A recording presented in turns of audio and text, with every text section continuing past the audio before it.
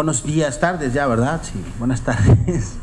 Eh, muchísimas gracias por, por estar aquí. Eh, quiero, quiero agradecer esta invitación al TEC de Monterrey y a, la, cátedra Alfonso Reyes. Este, estoy muy contento de estar en, siempre estoy muy contento de estar en Monterrey. Me da un poco de nostalgia. Este, porque bueno, ahora, ahora vengo a dar charlas, antes solo venía a divertirme y ahora vengo a dar charlas. Eh, pero bueno, siempre estoy contento de estar aquí. Eh, les agradezco mucho también que estén acá. Eh, la charla de la que hablamos, más o menos como, como propusimos el tema, hicimos ahí una, una serie de, como de, un diálogo con, con, con maestros, estudiantes de la carrera de letras, y coincidimos en hacer una breve charla sobre la literatura, yo lo titulé La literatura y el norte de México.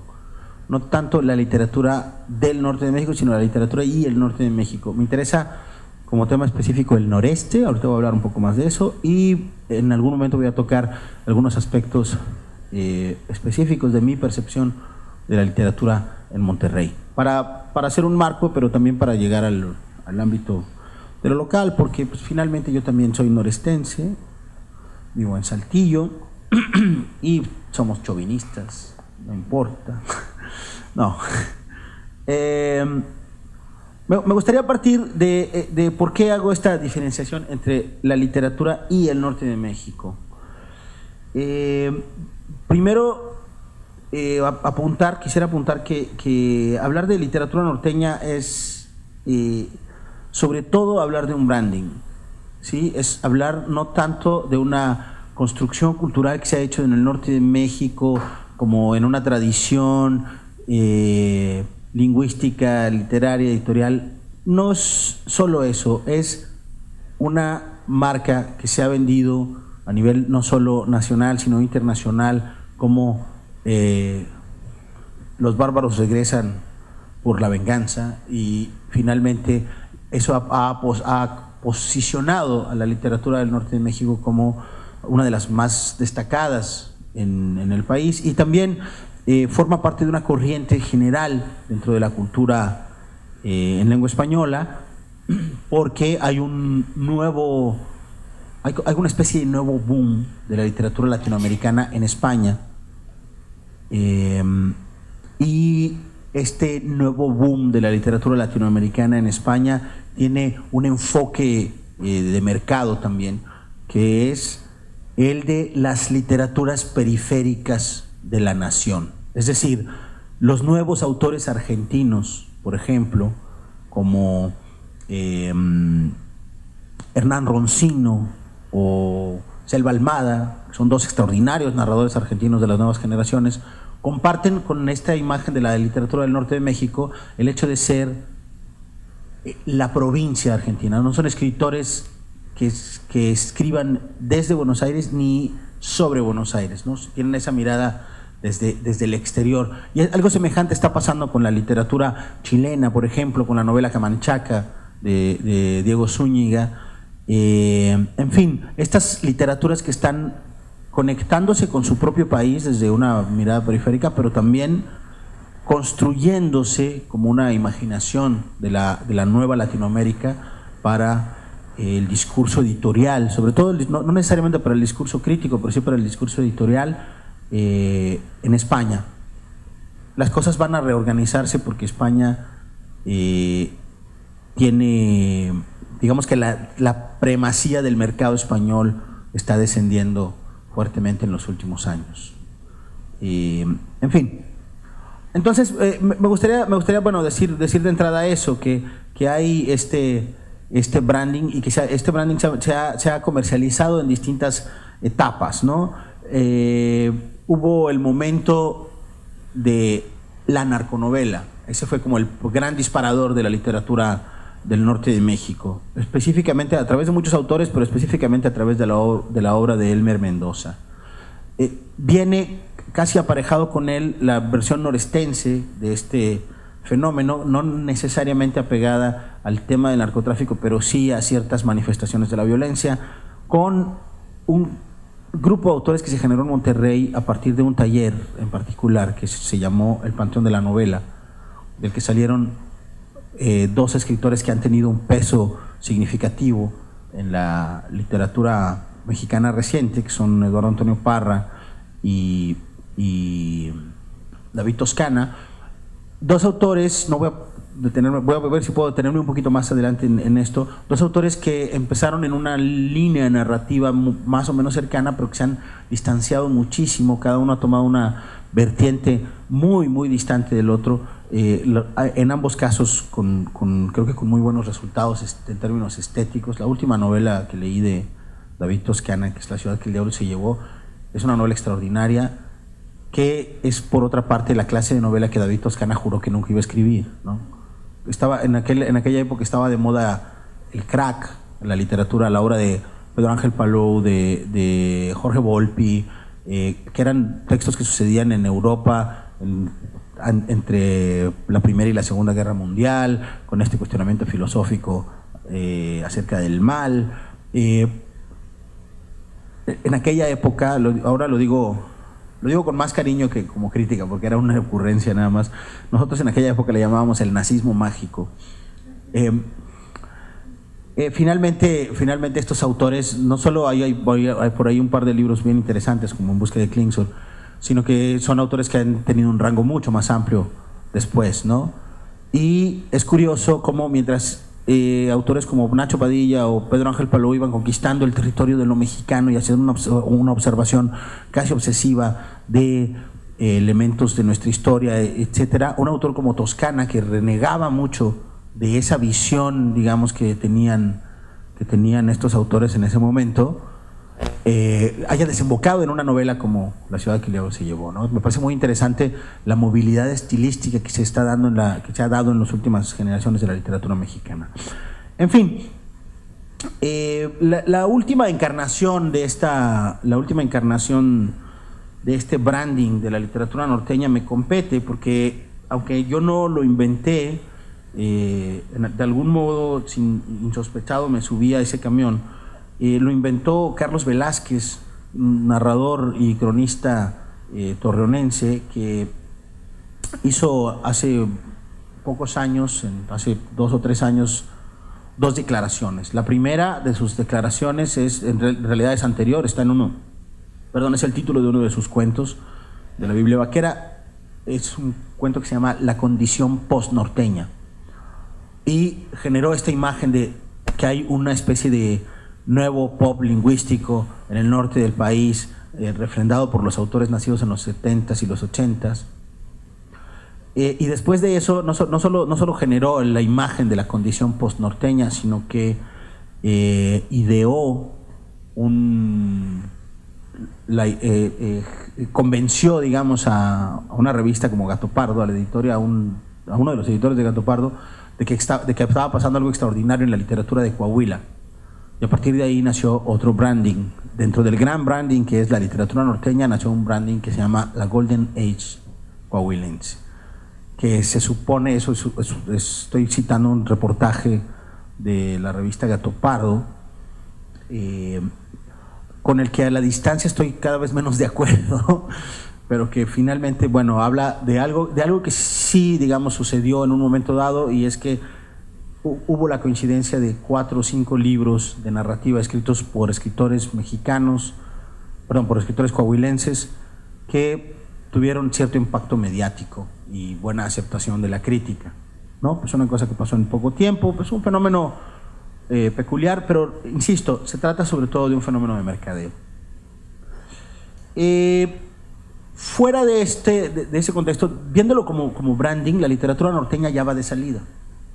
Es decir, hemos llegado, eh, la Golden Age coahuilense llegó y se extinguió en cinco minutos, tuvimos nuestros cinco minutos de fama.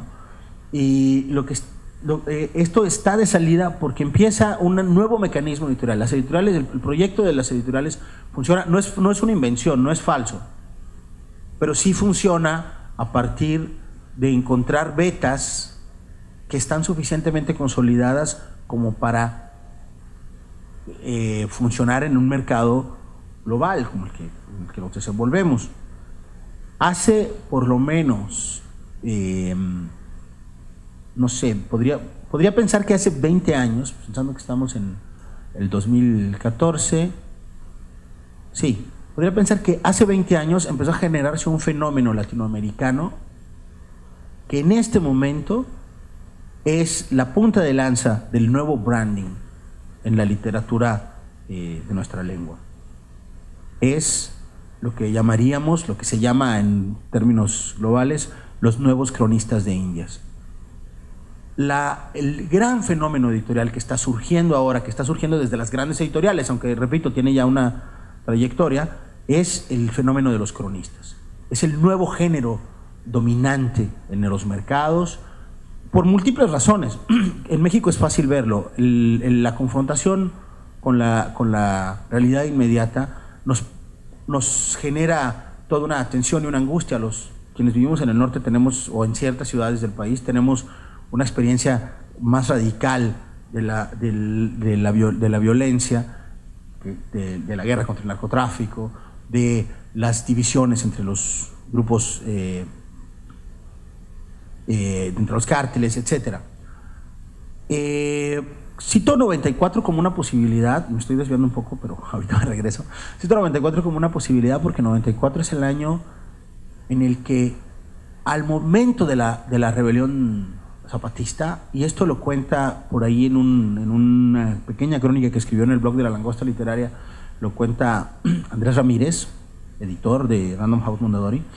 Eh, en 94, justo cuando empieza la rebelión, un periodista hace una serie de reportajes, se va, hace unas entrevistas y cocina, así tal cual, en un mes, un libro de 150 páginas que se llama La rebelión de las cañadas, que se convierte de inmediato, es, un, es un libro, no es un libro de autor, digamos, es un libro hecho para, el, para, el, para la coyuntura editorial que había en ese momento.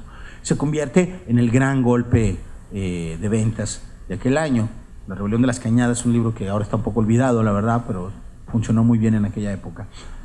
Eh, a partir de ahí se ha venido construyendo una visión distinta de lo que es la crónica, eh, gracias en parte a algunos cronistas que han decidido abordar este género de, una, de maneras más consistentes.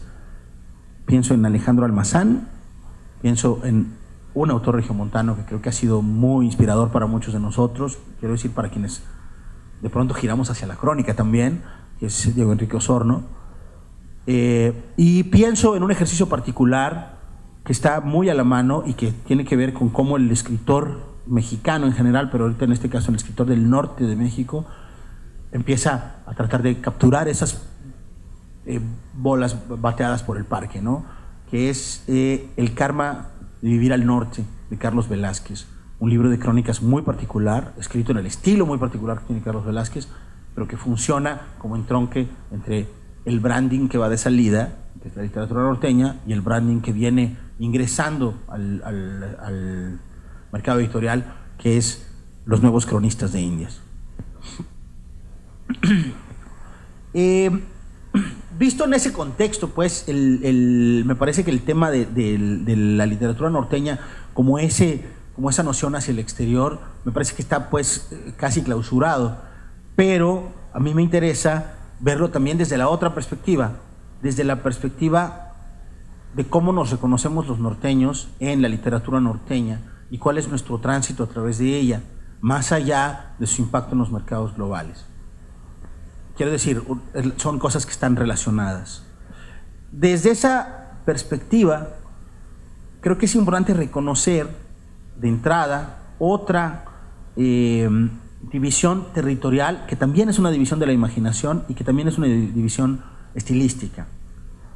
El país México, visto desde el centro, suele verse como esta entidad norte-sur,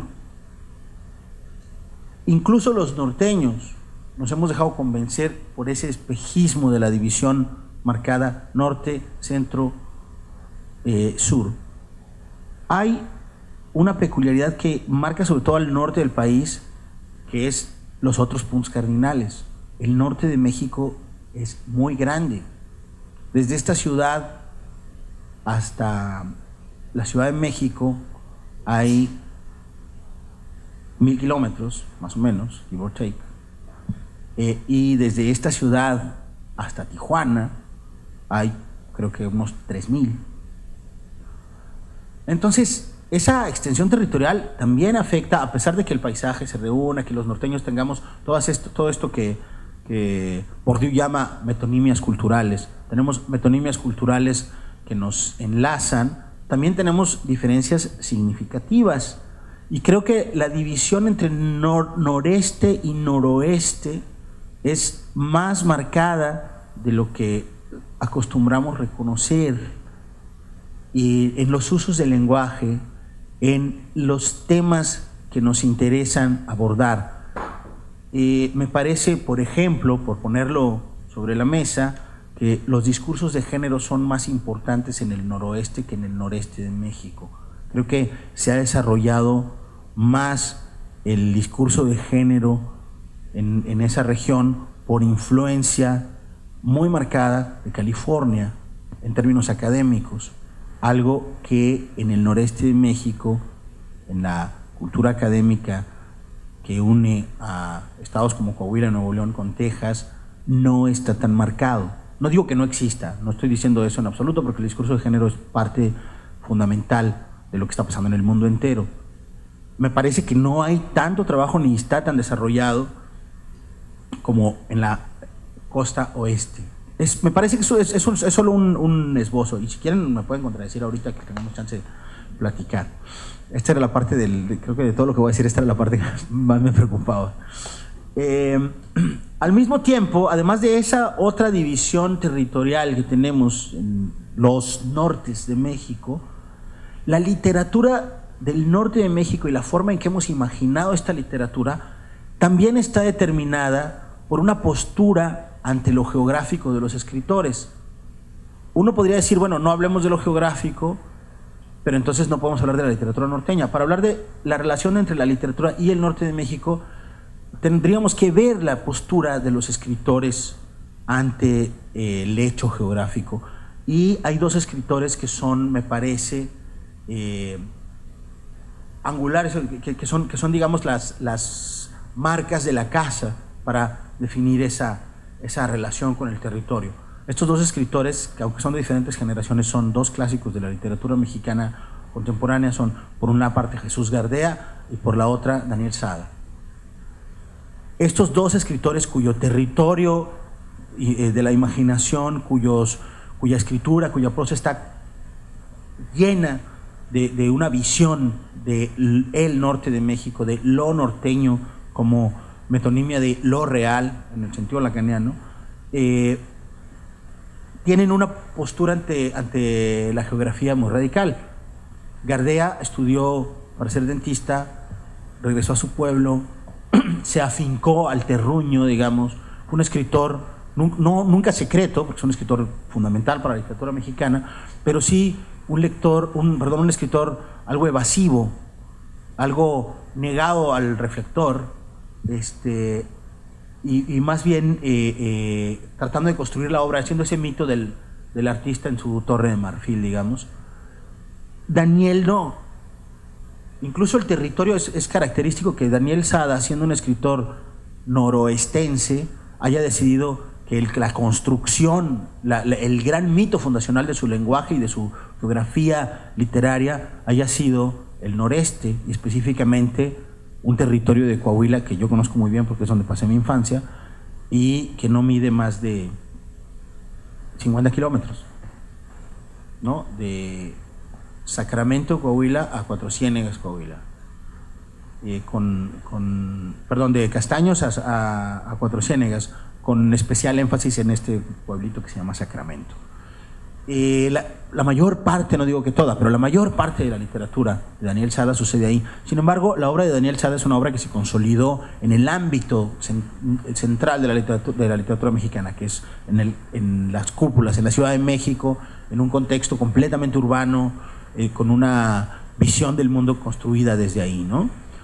Eh, estas dos visiones, estas dos posturas frente a lo geográfico, frente a la imaginación de lo geográfico, digamos, eh, se trasladan a, otros autores del norte de, del norte de México y funcionan como una carga estilística, no son nada más, no son un mero dato, sino que funcionan como una carga estilística y creo que generan cambios en algunos casos sutiles y en otros radicales en su enfoque de la literatura.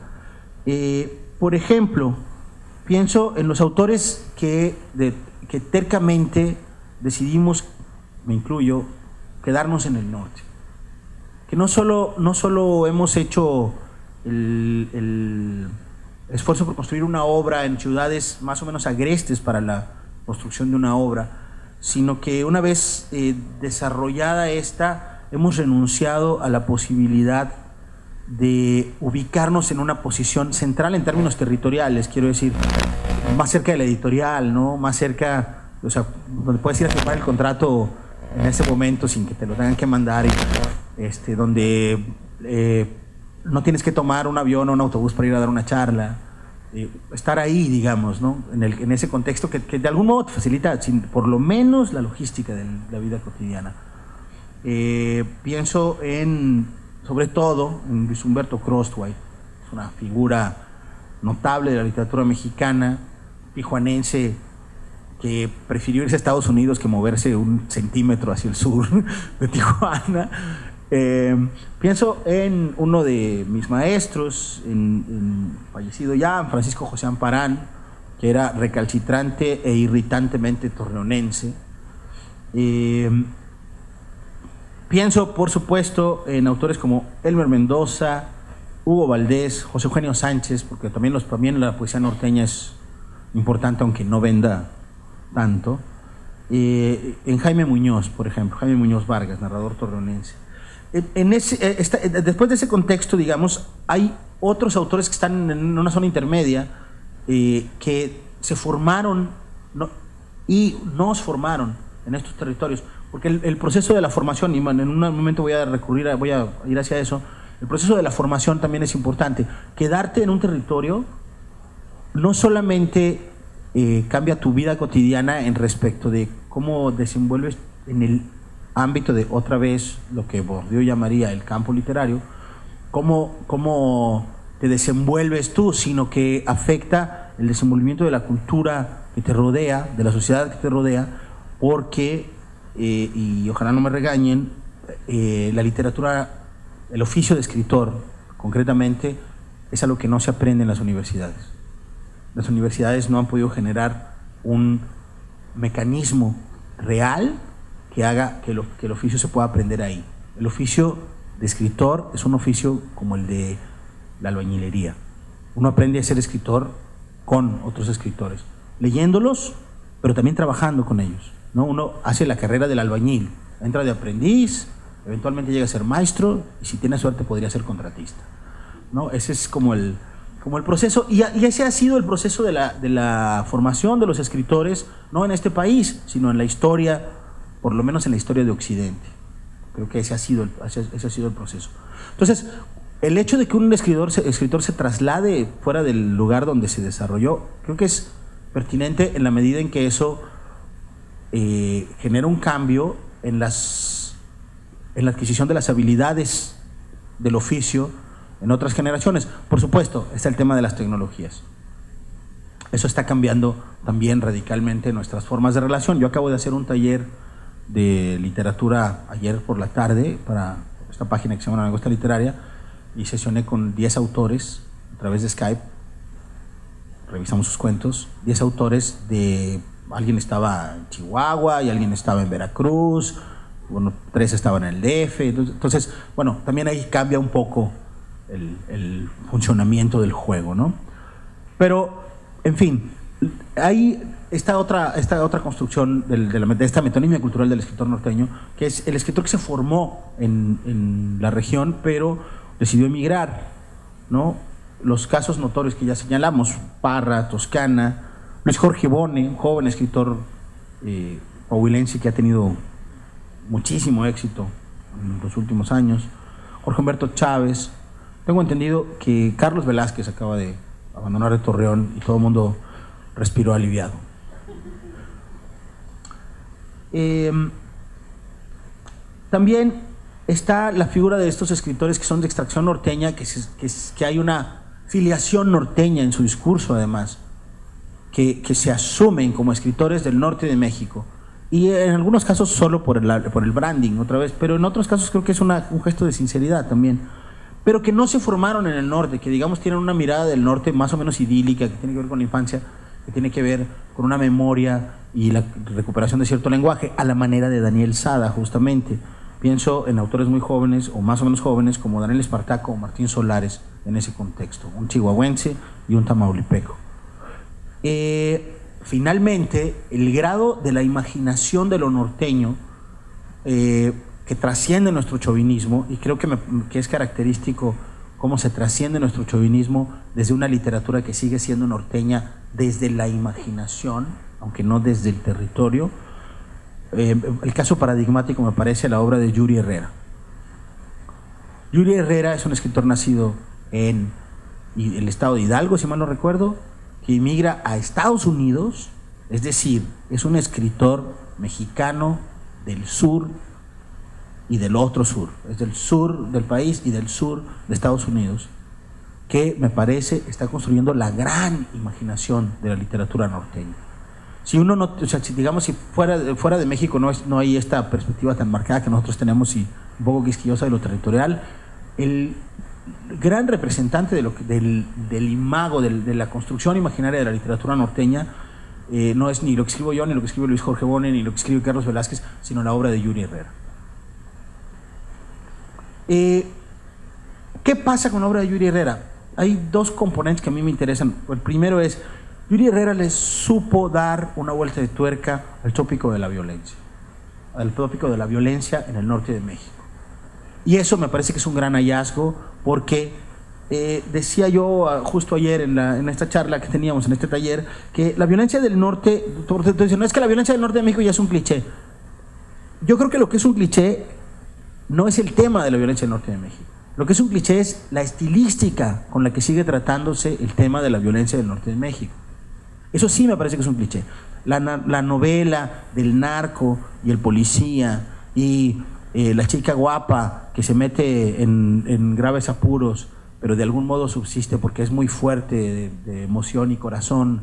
Este, toda esta interpretación este, vista a través de los ojos, no del norte de México, sino de, la obra de Pérez Reverte, me parece que está completamente destruido, que es súper chabacano y que hasta alguien que lo ha defendido como Elmer Mendoza lo sabe, porque los libros nuevos de Elmer tratan de desmarcarse un poco de ese, de ese contexto. Me parece que, el enfoque de Yuri Herrera va completamente por otro lado y, cito un ejemplo que me parece puntual. En Señales que precederán al fin del mundo, eh, hay una chica que tiene que hacer un viaje, tiene que ir a buscar a su hermano. Y entonces su madre le dice, ve a buscar a los tres señores, a este pídele que te lleven, a este pídele que te crucen y a este pídele, no le dice que le va a pedir al tercero, se queda como un misterio hacia el final. La mujer emprende la marcha, se encuentra con el primer señor, le piden, ya se dieron cuenta que se parece esto. Se parece a un cuento de las mil y una noches.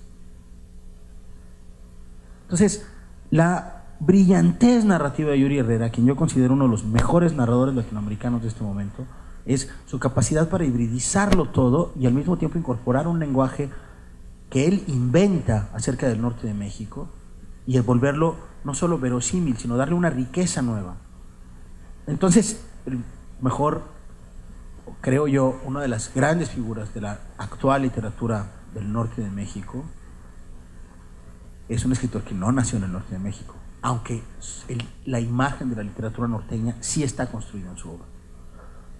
Eh, después de, ver este, digamos, esa parte de la, después del branding, después de la literatura, me gustaría detenerme eh, para, ir hacia un tema más específico, cómo se construye este mago de la literatura en el, en el norte de México, y me gustaría detenerme en ahí sí, en un territorio que me es más familiar y que es más reducido y que me permite acercarme eh, con mayor precisión, que es no el norte, no, no, cómo se desarrolló la literatura en el norte de, México, sino en el noreste.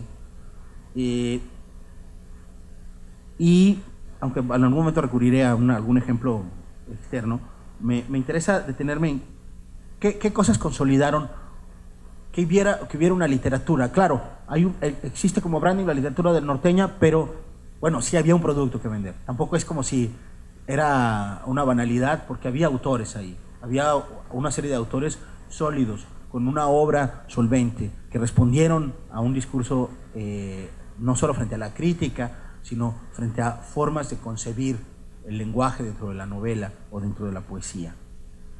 Eh, creo que lo primero es la generación de un ambiente literario. Y esa generación de un ambiente literario depende de prácticas específicas, algunas de las cuales me sorprende que se estén eh, perdiendo, que estén entrando en recesión. Creo que uno de los momentos donde la literatura del noreste del país empieza a despegar, a mostrarse, está en los años 80. Ya sé que me estoy yendo mucho a la historia, pero verán que, que, va a tener un sentido con lo, con lo que quiero decir enseguida. Eh, y hay un momento que me parece importantísimo en los años 80 en Monterrey. No solo para la literatura de Monterrey, sino para la literatura del noreste de México y para, buena, para un buen cacho de la literatura mexicana. Y es la existencia del suplemento cultural Aquí vamos, dirigido por Jorge Cantú de la Garza. Ese es un momento bien importante porque primero se plantea desde una ciudad como esta, centrada en una visión periférica de las artes, de la literatura en particular, no soy experto en las artes, pero conozco algo del desarrollo de la literatura en Monterrey, se plantea ahí como un, como un núcleo la construcción de, una, de un espacio literario que no es una revista que hacen unos estudiantes, no es una revista especializada que está, digamos, en, la academia, no, es un suplemento cultural de un periódico que tiene circulación importante en, en la ciudad, que llega a la casa de todo mundo, que este lenguaje que está ahí construido, esta estilística que se está construyendo a través de cuentos, reseñas, ensayos, poemas, está llegando a la mesa de cualquier eh, ciudadano. Eso me parece que es un momento importante. Esto generó grandes cambios en la estética de la literatura mexicana en su momento, en los años 40 y 50, sobre todo en los años 50, y creo que, que tiene un efecto semejante y guardadas las proporciones, claro, pero que tiene un efecto semejante para los lectores y para los autores. Hay un tema álgido, más o menos álgido, que tiene que ver con el suplemento Aquí vamos, y que a la larga tiene que ver con la estilística de la literatura del norte de México. En algún momento cuenta Jesús de León, que era Jesús de León, narrador saltillense, era uno de los colaboradores asiduos del suplemento Aquí vamos. Cuenta Jesús de León que Jorge Cantú de la Garza citó a los colaboradores más cercanos una junta para decirles, tenemos que bajarle. Ya me contaron las majaderías del, del último número y son demasiadas. Vamos a empezar a hacer cuotas. Vamos a poner siete pinches. Más de siete pinches los vamos a empezar a, borrar. Cinco chingados. Y Jesús de León, que es un maldito, le dijo, ¿y cuántas vergas? Dijeron, bueno, dos. Eso fue un acuerdo para la edición de un suplemento, de un suplemento cultural en Monterrey en los años 80. Claro, uno diría, bueno, estaban, ellos estaban pasándose de lanzas, los estaban censurando. El tema me parece pertinente porque eso no sucedía en un periódico de la Ciudad de México, no sucedía en un suplemento cultural de la Ciudad de México, porque simplemente el planteamiento de esa ruptura lingüística no estaba ahí. Una de las cosas importantes que generó la literatura del noreste de México, del norte en general, pero específicamente del noreste, es una gran fuerza de ruptura con eh, zonas del lenguaje que estaban eh, guardadas en un cajón, ¿sí? que, a las que no se podía acceder más que de manera lo más rulfiana posible y solo en caso de incendio. ¿no? El, lenguaje, el lenguaje de la literatura regiomontana de esa época no. Uno, uno de, los, eh, de las grandes acusaciones que nos hacían, y ahí me incluyo porque esa es mi etapa de escritor regiomontano, eh, era el que nosotros no hacíamos literatura sino literatura. ¿no? Era como... Y, este, este mecanismo de, cercanía con el lenguaje, de libertad con el lenguaje, de pronto eh, decía, decía un amigo con un poco de presunción, con un poco de presunción, pero no sin razón, decía, nunca nos vieron venir. ¿no? Había un, o sea, la literatura norteña no solo se estaba consolidando porque tenía un paisaje, se estaba consolidando porque tenía una actitud distinta frente al lenguaje, una actitud además más allegada a la influencia que nosotros tenemos de la cultura anglosajona, una influencia que para muchos de nosotros es muy cercana.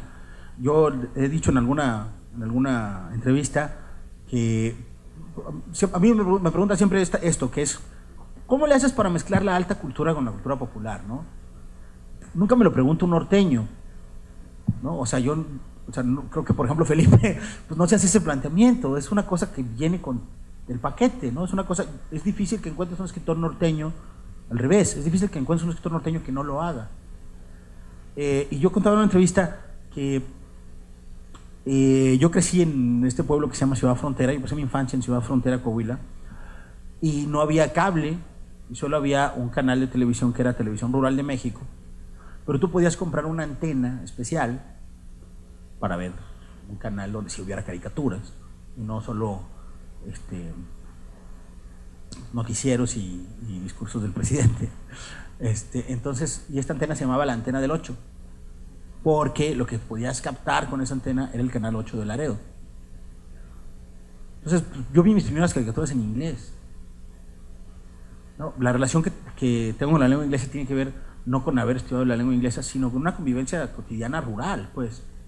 Entonces, eh, pongo este ejemplo general nada más para, hablar como de este cambio en el lenguaje que ciertas publicaciones pudieron generar, ciertas publicaciones periódicas. Y bueno, voy a tratar de avanzar un poco más rápido porque no sé si ya estamos ya tiempo ¿Eh? Bueno, me voy, a, apurar con lo, último. el otro tema es la existencia de talleres la existencia de talleres que en el norte del, país tuvo una línea que viene no de la Ciudad de México, sino de Ecuador. En algún momento llega a México exiliado Miguel Donoso Pareja, y Miguel Donoso Pareja forma un taller de escritores itinerante en el centro del país, al que asisten, entre otros escritores, David Ojeda y José de Jesús San Pedro, un narrador y un poeta.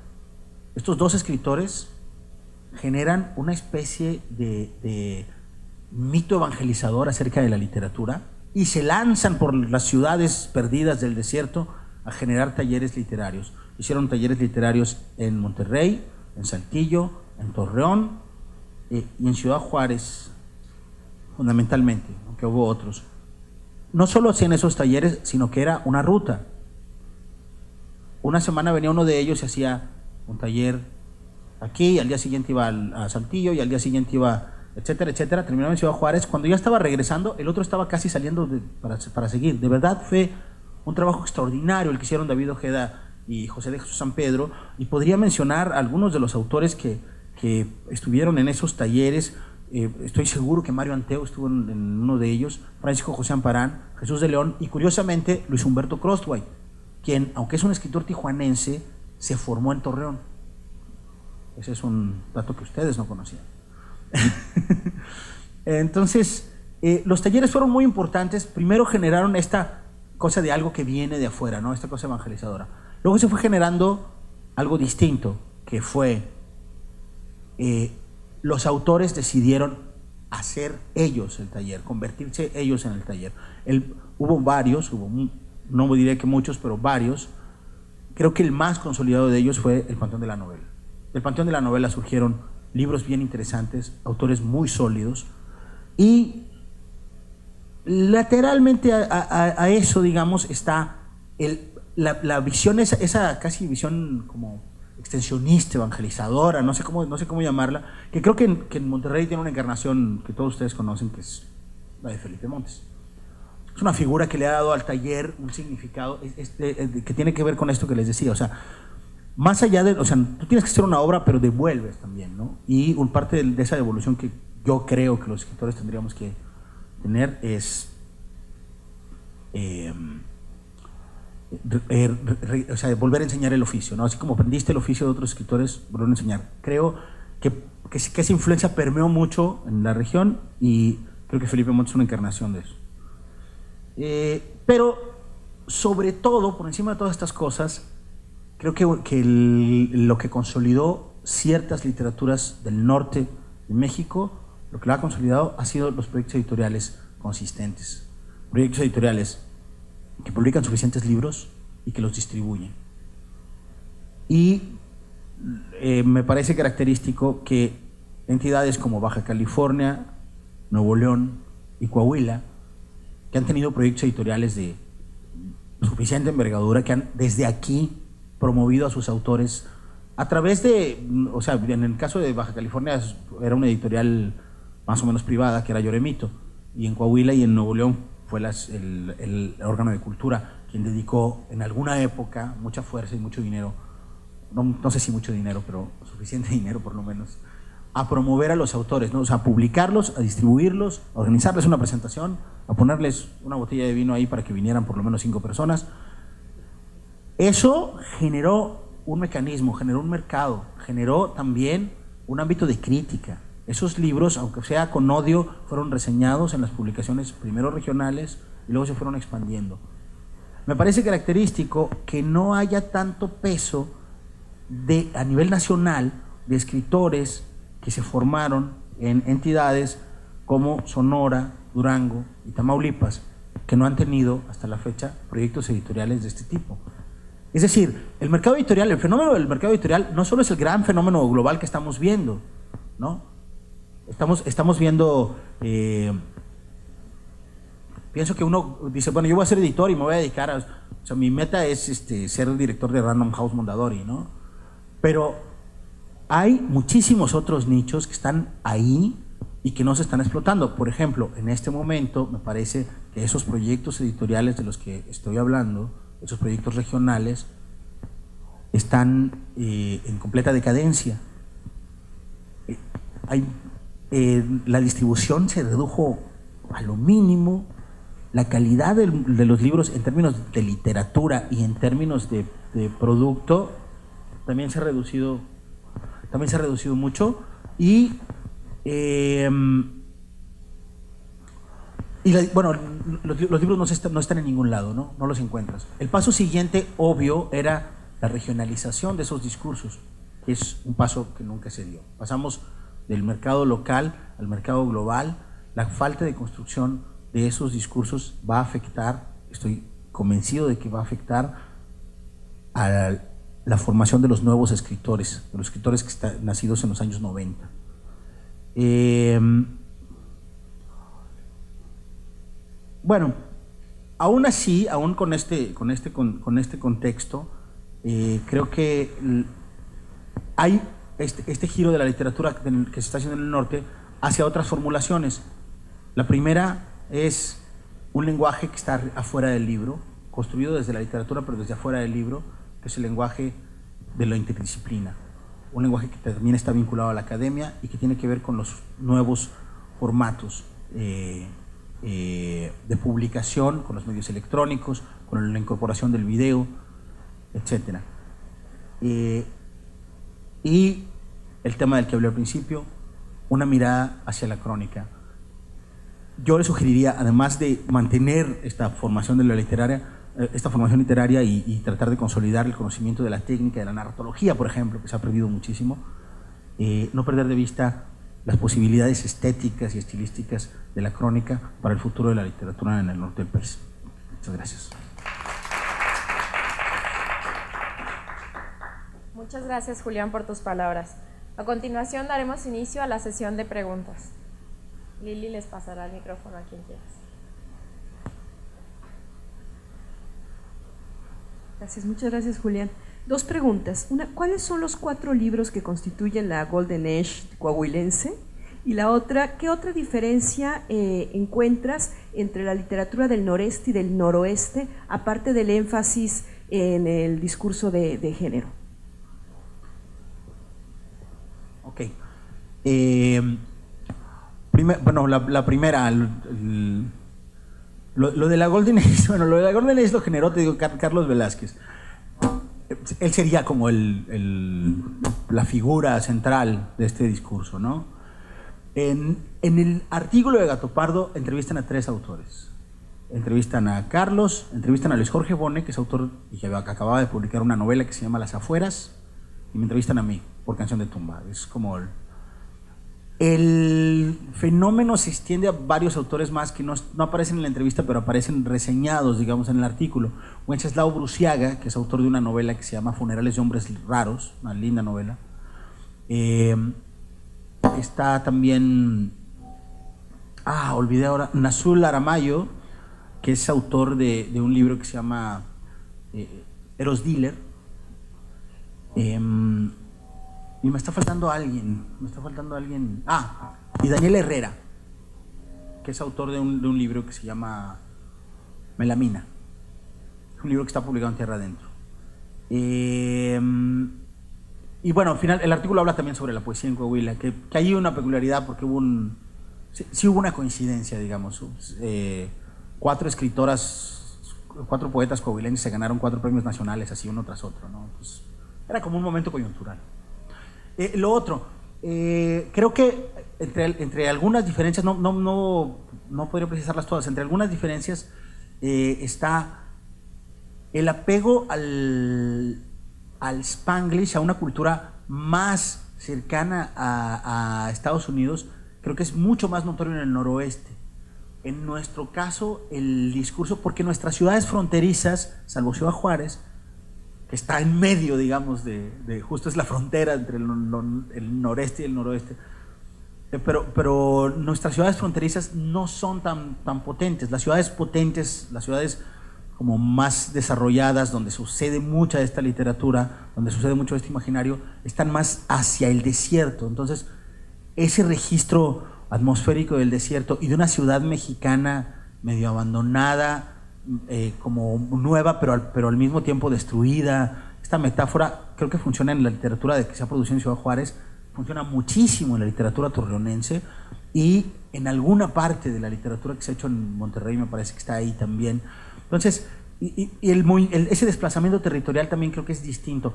Creo que es un tema bien largo, por otra parte, pero, pero esas serían unas cosas que, tengo un poco apuntadas al respecto.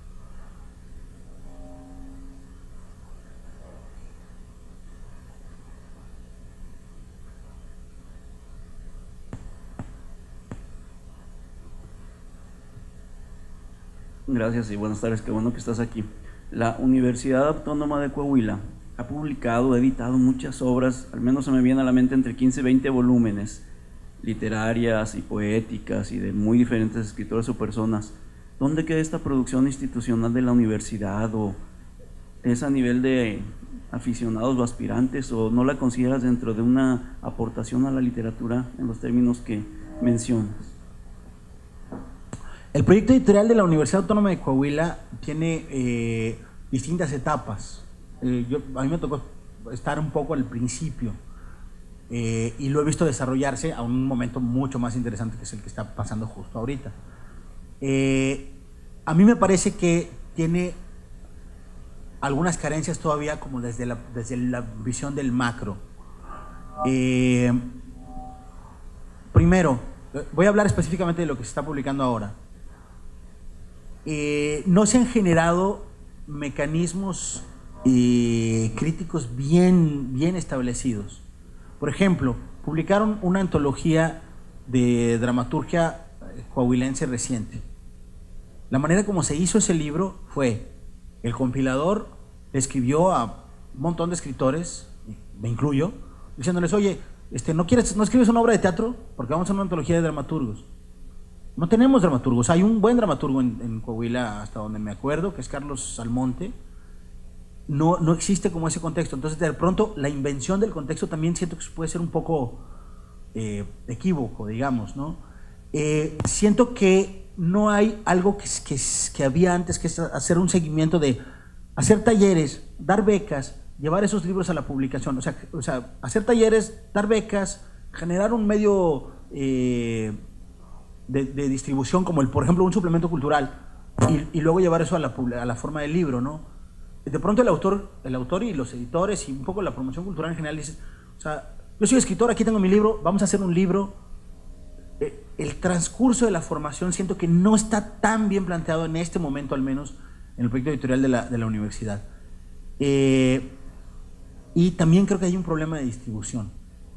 Los libros eh, están en la, por ejemplo, los encuentras en la, en la, en la, en, la librería de la universidad. Yo acabo de ver, eh, acabo de ir a, Torreón y encontré una, una, pequeña librería que tiene allá un magistrado, Jesús Sotomayor, que está tratando de distribuir cosas coahuilenses. Ese es su proyecto. Entonces, por ejemplo, están todos los libros de la Secretaría de Cultura, los nuevos, pero no están los de la universidad. Entonces, siento que, ahora, dicho esto, creo que ahí hay libros súper interesantes. Hay por ahí un libro de poemas de Mercedes Luna, por ejemplo, que es buenísimo. Ahí, ahí sí, por supuesto, hay buenos autores. Siento que no está consolidado como proyecto, nada más. ¿Podrías ampliar un poquito más de qué características ves en los autores nacidos en los 90 que pueda afectar de ese salto entre regional y, global? Digo, local y global. Bueno, eh, a grandes rasgos veo, por una parte veo una, un adelgazamiento de, de, estos mecanismos en general, ¿no? Por ejemplo, eh, siento que los medios, eh, o sea, no hay suplementos culturales. Y un suplemento cultural es un lugar de fogueo bien importante para, para un escritor joven. o sea, publicar un poema ahí, hacer una reseña ahí, estar, estar ejerciendo, digamos, de, una manera, sin tener que hacerte el proyecto del libro, ¿no? Sino el, trabajo literario como esa talacha, ¿no? Creo que los talleres han perdido la consistencia que tenían, ¿no? Que, que, por ejemplo, eh, se hacen talleres y sí te juntas y te pones alrededor de la mesa, pero ya no te enseñan narratología. O sea, los autores que, como Rafael Ramírez Heredia, yo, yo tomé un taller de dos años con Rafael Ramírez Heredia, y aprendí narratología en serio, digamos, digo, sobre la marcha además, además a cachetadas, ¿no? Como a la antigua. Eh, ya no hay mucho de eso, entonces creo que es una carencia un poco del medio también. también e, es una cosa, un tema complicado, porque por otra parte, uno se pone a hacer un blog y si, si, eres suficientemente ingenioso, tienes, eh, o, o abres tu cuenta de Twitter y si eres ingenioso, al dos, dos meses tienes 10 mil seguidores y de pronto dices, pues, o sea, a mí que me van a enseñar literatura, ¿no? Entonces también creo que, creo que hay una eh, difícil administración de, los, de las metonimias culturales, otra vez, ¿no? De, y creo que la generación de los 90 la tiene difícil porque es relativamente fácil publicar un libro, es relativamente fácil, no digo que sea fácil así y ya, pero es relativamente fácil publicar un libro y que lo publique una editorial grande y que el libro tenga unas cuantas ventas y te hagan dos entrevistas de televisión. Y creo que está pasándole a los novelistas, a los nuevos narradores eh, latinoamericanos, no a todos, pero siento que hay una parte de los más jóvenes que les está pasando lo que les pasaba a los músicos en los años, a los músicos negros en los años 50 en Estados Unidos.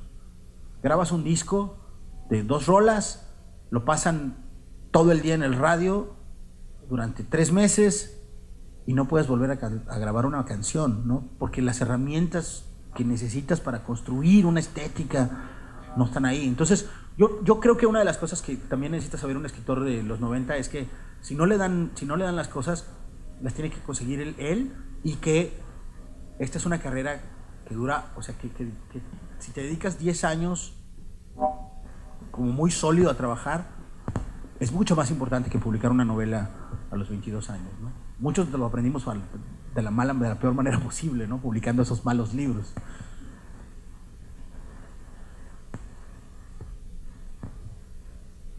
Es un gusto, Julia, que estés aquí. Em, eh, a lo largo de la plática has mencionado algunas cosas que, faltan. Falta crítica, falta esto, falta eh, ambiente, en una palabra, ¿no? Me gustaría saber, eh, dado que, que me parece que tú tienes muy claro ese, ese proceso y has mencionado diferentes ingredientes. Me gustaría saber qué, qué, otros elementos consideras que faltan en esta región noreste, desde Matamoros, este, Ciudad Victoria, Reynosa, Monterrey, Saltillo, Monclova, eh, Torreón. Eh, ¿Qué falta? Eh, te lo digo porque acabo de ver un cartel muy interesante en el museo de Jimi Hendrix y de Nirvana, un cartel en el cual eh, eh, exploran con un mapa caricaturizado de la ciudad qué eh, elementos se necesitan para que una ciudad sea una capital del rock. Entonces yo me imaginaba cinco o seis de los elementos, pero había otros 12 o 15 que sea, sí es cierto, eso, eso falta para que una ciudad lo tenga. En el caso de nuestras ciudades o de nuestra región, ¿qué, otra, ¿qué otro elemento consideras que falta y que es primordial? digo, es una pregunta, voy a, es arriesgada la respuesta que voy a dar porque es una, mi percepción muy, o sea, ahí sí no, no creo tener más información, ¿no? Como mi conjetura, a lo mejor es por también una cosa de personalidad, porque me gusta la fiesta. este, mi conjetura es que algo que se diluyó en el camino es la identidad de región que teníamos. La identidad de región que teníamos o sea, siento que una de las cosas que hay, muchas cosas, la política, eh, eh, los fenómenos de la naturaleza, eh, etcétera, han destruido la identidad que teníamos. Yo entro, yo entro a Monterrey con, sin que venga algún regiomontano y me siento completamente perdido. O sea, no, la ciudad no me parece señalizada, no tengo la o sea, te pasas 15 metros de un lugar y ya perdiste todo el día. Este, y no digo que sea nada más Monterrey, o sea, siento que, que la sensación que yo tenía de estar en, y lo digo así tal cual, para mí Monterrey es una de las cinco casas que yo tengo en el mundo, la sigo, lo sigo viendo así. La sensación que yo tenía de estar en mi casa todo el tiempo aquí, sí se ha ido desvaneciendo.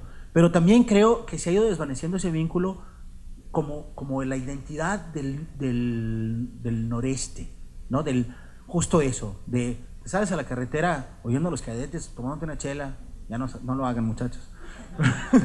Pero era, era eso, era, era una cosa que ni siquiera tenías que plantearte, ¿no? Te parabas en Monclova y Monclova, la sensación de estar en un espacio que te es común y que te es... Y, creo que sucede en muchos ámbitos, pero específicamente en el de la literatura, para, para, porque esta es igual mi nostalgia, no del, no del noreste, sino de la juventud. Pero, pero para, para precisarlo, algo que sí había, que sí sucedió en los 80s, los 90s, los primeros 2000s, había una perspectiva de el Congreso de Literatura, del encuentro de literatura, de la reunión de escritores, no como una pasarela a donde llega este escritor exitoso y te da una charla. Y, no, no, era, nos juntamos, sí, cuál era una mesa, hablamos de cierto tema, no es vamos a traer a las vacas sagradas a que eh, eh, ilustren a la nación, sino era qué es lo que están escribiendo, por ejemplo, tú decías, ¿qué es lo que están escribiendo en Matamoros? ¿Quién sabe qué es lo que están escribiendo en Matamoros en este momento? ¿Quién sabe quiénes son los escritores jóvenes de Ciudad Victoria, en Monterrey, quiero decir? Mi generación tenía una conciencia clarísima de eso. O sea, nosotros éramos una generación. Eh, no, no solo éramos una generación, sino intercambiábamos lecturas, intercambiábamos pleitos. era era muy intensa la relación. Siento que eso, pensando en la idea del, encuentro como grandes letras, se ha perdido no solo en el nivel regional, sino que es una, una pérdida de la identidad también en términos de clase social, en términos de extracción. Por ejemplo, me parece que hay un fenómeno generándose en el TEC de Monterrey, o que se ha venido generando desde tiempo atrás, para formar gente que escribe literatura o eh, trabaja en uno, alguno de los medios eh, eh, aledaños a la literatura, la formación, el proyecto editorial, o sea, que están involucrados con la literatura. Pero no me parece que estén suficientemente involucrados con la literatura que se hace en Monterrey. ¿No? O sea, está este núcleo, sí, y funciona y tiene una existencia y una presencia y una serie de conocimientos. Pero ¿qué pasa con el, el vínculo entre este núcleo y eh, la regia cartonera? No digo que tenga que existir, digo que me sorprende mucho que nos hayamos aislado tanto unos de otros, porque ya ni siquiera, y esa, esa sería, o sea, ya ni siquiera se pelean. O sea, que una de las cosas, uno de los ingredientes más sabrosos de la literatura para mí en el, en el noreste de México era que nos la pasábamos de la greña. O sea, había muchos pleitos muy puntuales, o sea, eh, polémicas en un periódico, eh, reseñas para despedazar la novela del que despedazó tu novela el año pasado.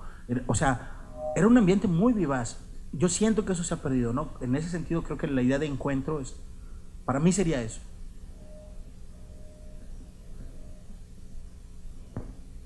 Daremos espacio en la pregunta más. Muchas gracias por venir a compartir su experiencia con nosotros. Este, a mí me gustaría saber cuál cree usted que tiene que ser la relación que los escritores debemos tener con la mercadotecnia en sí, si es que existe alguna. Otra pregunta difícil. Em, voy a decir una cosa. Eh, no estoy muy seguro porque la relación que yo he tenido con el mercado nunca ha sido aplastante.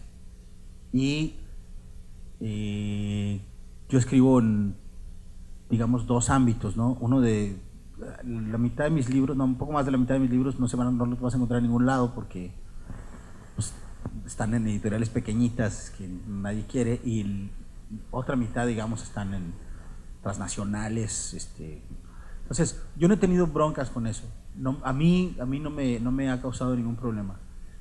Yo creo que tienes que saber qué es lo que estás haciendo y hacia dónde estás dirigiendo el, no solo tu como carrera literaria, que es una palabra que no me gusta tanto, pero este, no, no solo eso, sino eh, en qué estás trabajando de manera específica, ¿no?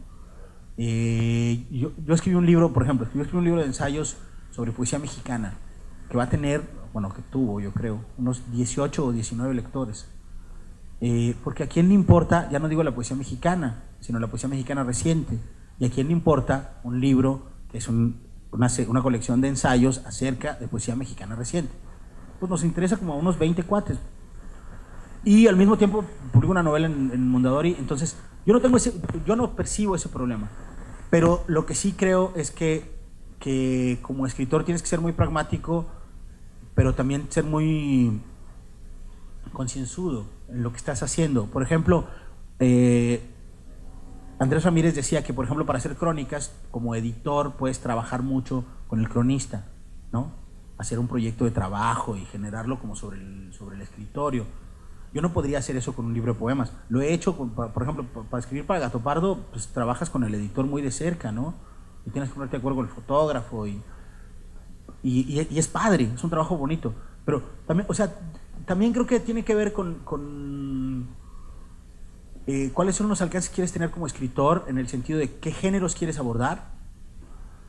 Eh, ¿Cuánto tiempo te vas a tomar en eso? O sea, no, no es lo mismo. Yo creo que uno puede acabar un libro de crónicas en un año tranquilamente y puede ser un buen libro porque el mecanismo te impulsa, te lleva, te, hace tomar ese ritmo. Eh, una novela de 500 páginas no necesariamente se hace en ese ritmo. ¿no? Entonces, cada proyecto creo que tiene también sus, sus asegúnes. Lo que sí creo es que como, es, como escritor no, no, no puedes eh, tomar decisiones eh, que marquen tu, tu carrera y tu proceso desde el mercado. Es decir, creo que frente al mercado no tiene, o sea, no tiene nada malo. O sea, yo llevo cuatro años viviendo de escribir. Es una bendición. En este país nadie vive de escribir. Yo estoy feliz. Llevo cuatro años en los que nada más me he dedicado a escribir. Es lo mejor que le puede pasar a un escritor. Pero de eso, o sea, a que está, o sea, el, el mercado establezca las reglas de esa relación, sí creo que hay distancia. Te voy a dar un ejemplo de cómo, de cómo lo percibo yo. Eh, por ejemplo, yo no tengo agente literario. ¿no? La mayoría de los novelistas de mi generación que han tenido tal o cual éxito, digamos, eh, tienen agente literario. Yo no tengo agente literario, yo trabajo, o sea, lo más cerca que tengo a un agente literario es, que tengo un asistente que ya este, creo que no funciona y, este, y más bien mi chica me ayuda a resolver cosas porque es mucha chamba. Es, esa es una. Y otra, por ejemplo, yo nunca he firmado por un libro, nunca he firmado, yo he firmado un contrato por vender un libro y ganar dinero, pues claro que lo quiero hacer, pero nunca he firmado un contrato por un libro que no he escrito. ¿no? Así como, te damos un anticipo por tus próximos tres libros, ¿no? Siento que ahí empiezas a poner en riesgo tu proceso de creación.